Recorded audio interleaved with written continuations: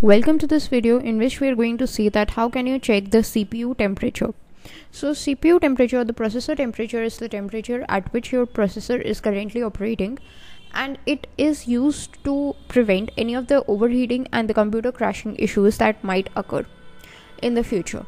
So it is a very good practice to constantly check your CPU temperature when you feel like your performance of the processor is not up to the mark or your system is slowing down so what is the process for that? That how can you check the cpu temperature? Of course we're not going to take a thermometer and stick it on our cpu and check the temperature.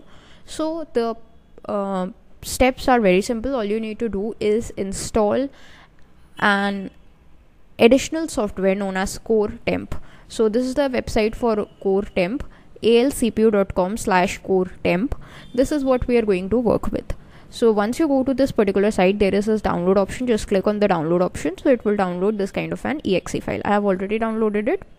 Once you have downloaded it it's time to install. So let's see how do we install it. So let's just click on next.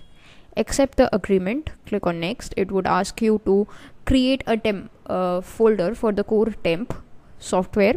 So if you want it at a particular location you can just click on browse and provide that location or i'm just going with the default location and it also gives you an information that 1.2 MB of free disk space is required, so which is a very minimum requirement.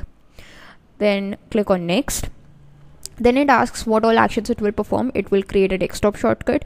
It will build the kingdom with the Goodgame Empire and uh, that would actually start the game. There is a game also that's given to you, and additional language packs are also installed so i'm happy with the default settings. Let's just click on next.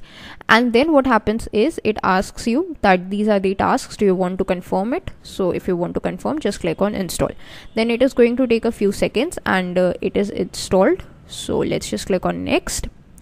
Now uh, if you want readme to uh, .txt. If you want to read that particular file you can click on tick mark but i have unchecked it. I just want it to launch the core temp so let's just click on finish and then the core temp would be launched something like this. So right now you see that the maximum temperature is 105 degrees centigrade. It has uh, my cpu has two cores right now and one temperature is 69 to 71 and the second core temperature is also in the same range that is 70 75 range.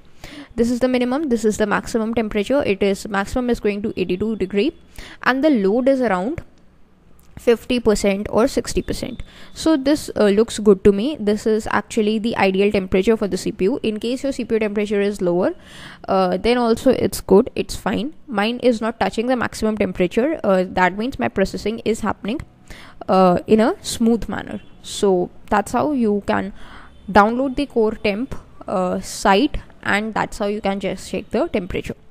So that's it for this video. Thanks for watching